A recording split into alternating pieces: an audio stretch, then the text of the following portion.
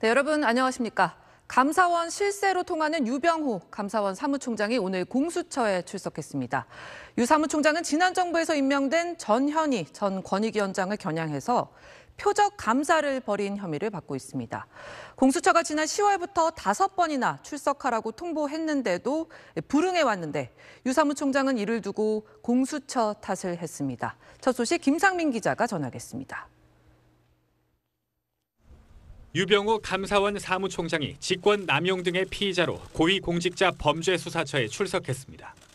소환 일정을 둘러싸고 10월 중순부터 공수처와 신경전을 벌였는데 책임을 공수처에 돌렸습니다.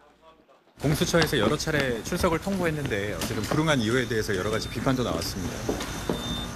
그거야 통보 방식 자체가 위법이었죠. 수령불기란 지적도 있었는데요. 어, 그런 거 없습니다. 지난해 8월 감사원은 제보를 받았다며 재임 중이던 전 전 위원장과 권익위를 상대로 근태 문제 등 13개 항목에 대해 특별 감사에 들어갔습니다. 그러나 감사 결과 전 전 위원장 개인에 대한 처분은 전 전 위원장이 갑질로 중징계를 받았던 직원에 대해 부적절하게 선처 탄원서를 써준 데 대한 주의 조치 한 건에 그치면서 논란은 더 커졌습니다. 권익위원장에 대한 사퇴 압박 목적의 정치적 표적 감사라구나.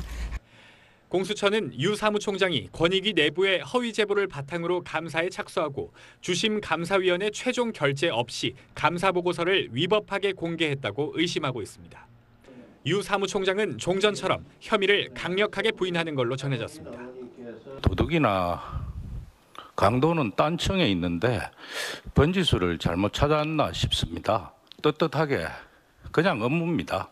법규에 따라 역사에 따라 관행에 따라 공수처는 유 사무총장 조사 뒤 최재해 감사원장 조사 필요성 등을 검토할 방침인데 관련자 소환이 지연되면서 내년 1월 현 공수처의 지휘부 임기 만료 이후까지 수사가 이어질 가능성이 커졌습니다.